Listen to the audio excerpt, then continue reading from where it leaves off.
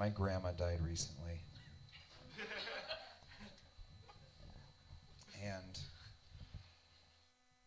because this is obviously not a paid open mic, I want to dedicate two minutes of my set to my grandma and uh, something that she loved dearly, which was converting hip hop into slam poetry. That's what my 90 year old white grandma loved to do. So I'm going to do one of her favorite songs, um, circa 2006. And if you guys do know the words, please shut the fuck up while I perform this. Because this is for my grandma and I love her very much. I'll perform it now.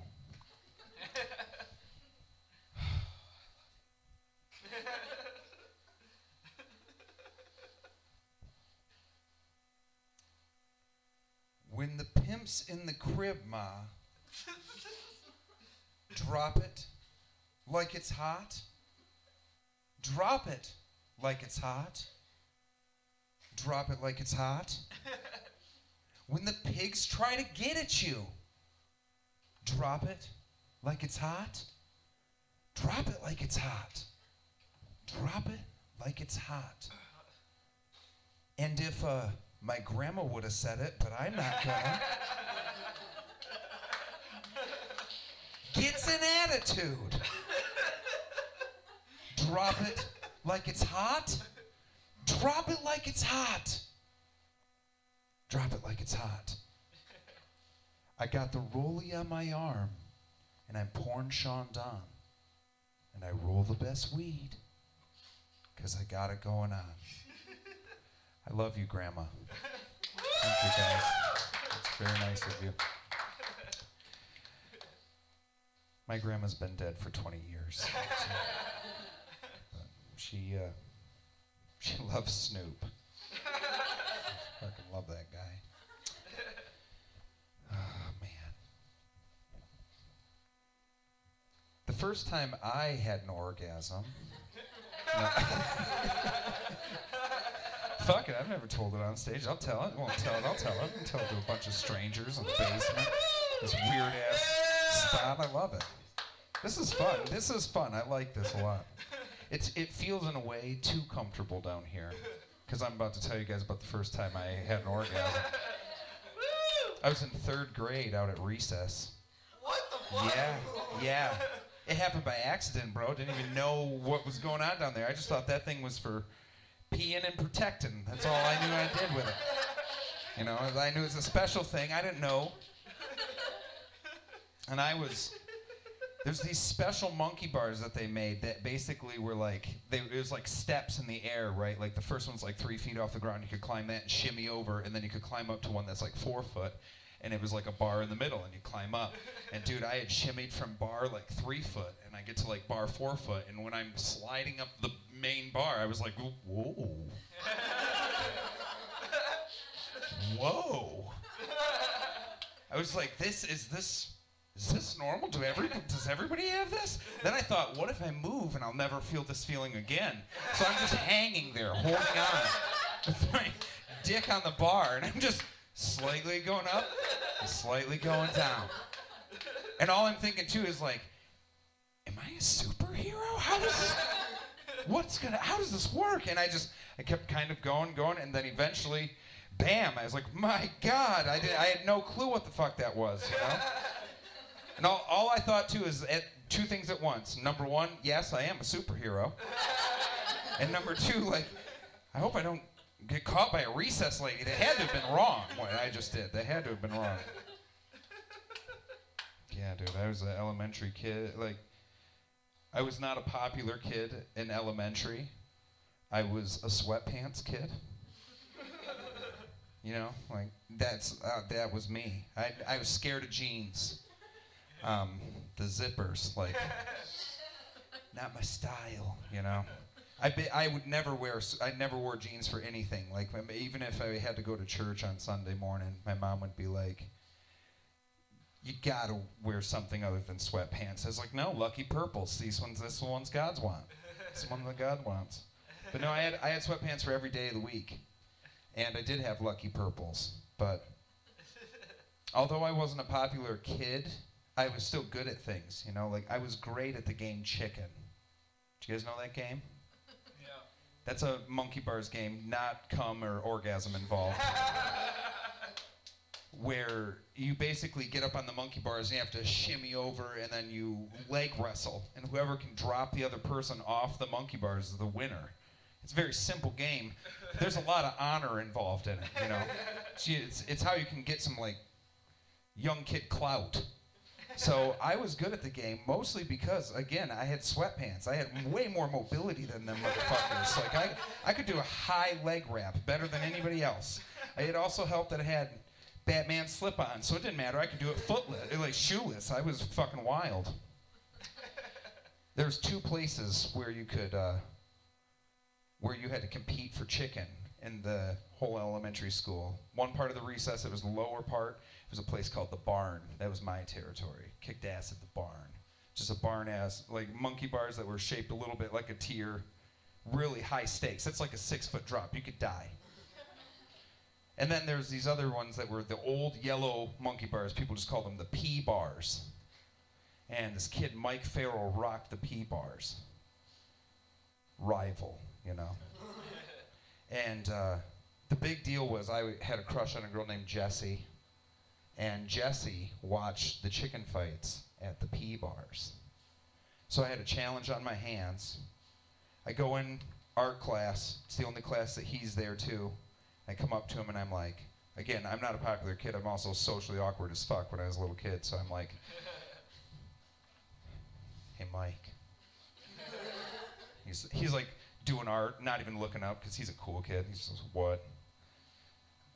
Challenge you to, uh, to chicken fight. And he, he stops and he looks up. He goes, "Are you serious?" And then Chris Hanley, his little fucking hype man, is like, "Oh my God, Sweatpants Kid's gonna fight Mike, the chicken fight, the P bars." And I was like, "Yeah, I am. Yeah, that's what I'm doing. I'm gonna kick your ass." And so, dude, it starts going around school. It's going around fast too. It's like there's rumors that maybe even a fifth grader's gonna be there. It's pretty high level shit, you know. And I'm worried. I don't. I eat a light lunch. You know, I want to keep keep ready, keep athletic.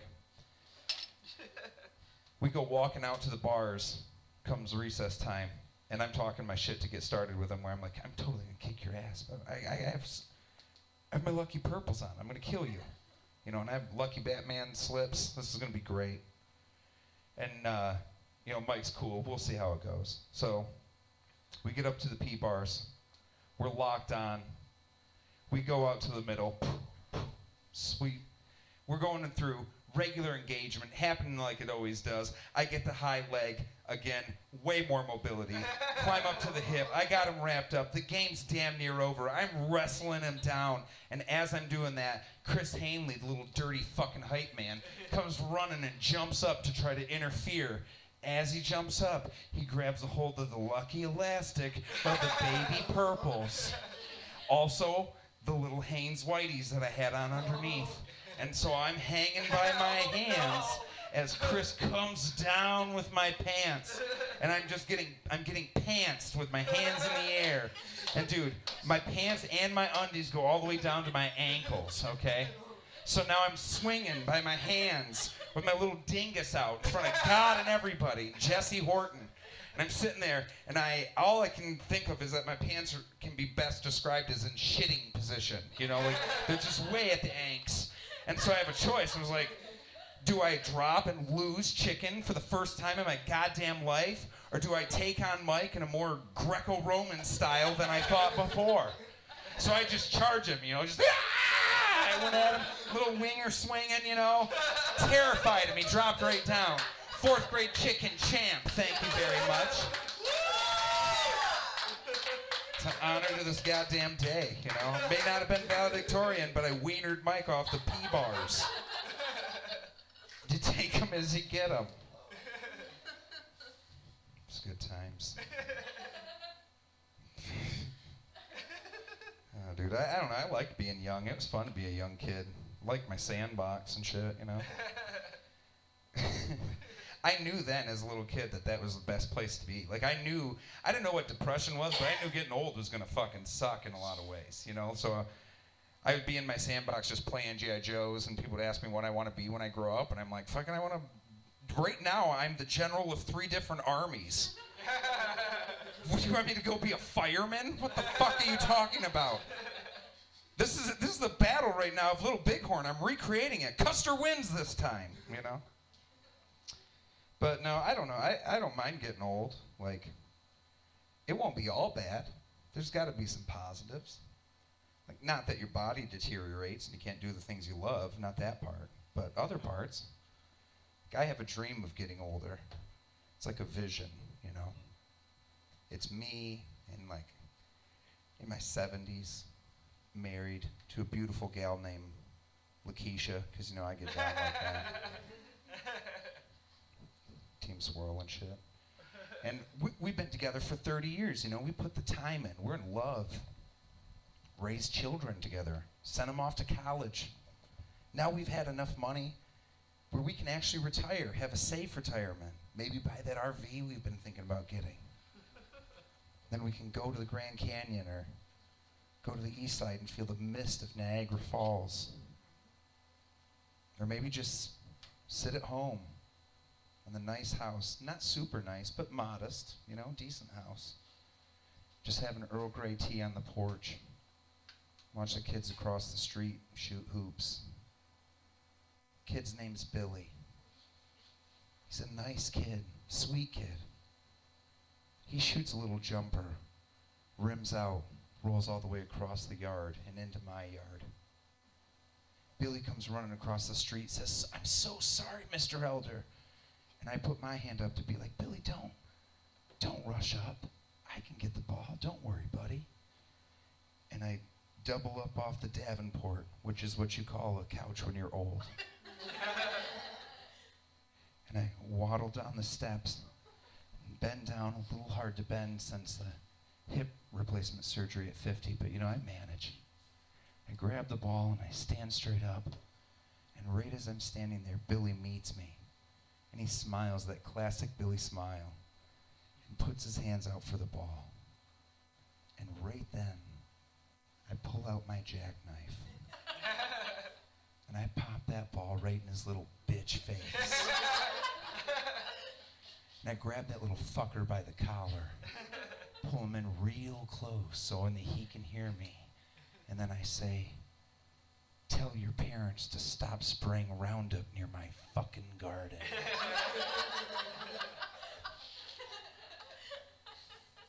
like I said, I can't wait to get old, you know. Just look forward to it. I dream about it. I uh I'm the uh, only boy in the family. I'm the youngest and only boy. And so I grew up around women and my sisters when they were older than me, like up until I was about seven or eight, they just beat the shit out of me. my my one sister would hold me down and make me watch Maury Povich and Sally Jessy Raphael and Ricki Lake and Jenny Jones, because those all four came on all right in a fucking row.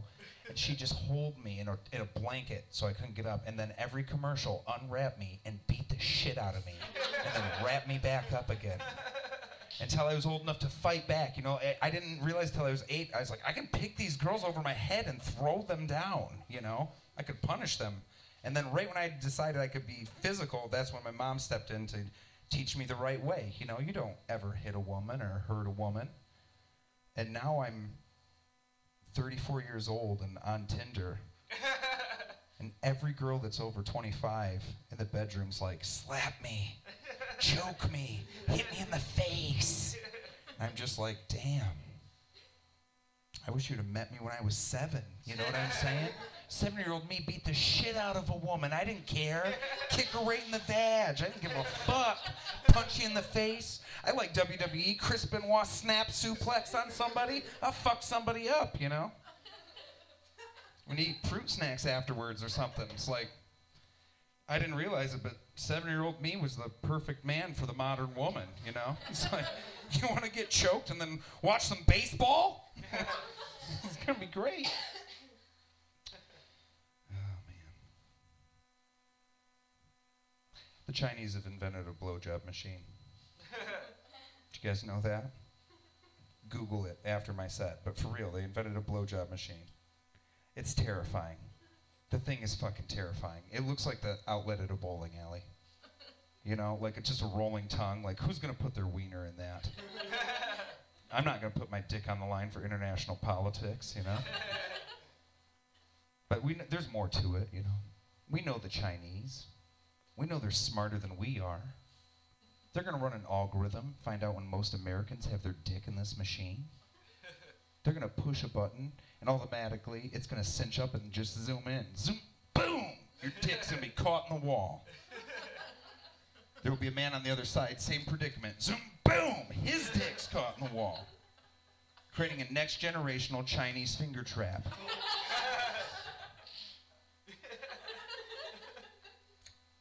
How do you get out of a Chinese finger trap, everybody? You gotta touch tips, baby. It's the only way to relieve the pressure. Are any of you fucking listening to me right now? I'm talking about a dick machine, you know? That thing's gonna hold your dick one inch from the other person. The only way out of that, getting over your own homophobia? Chinese are gonna get us, man. They got us there.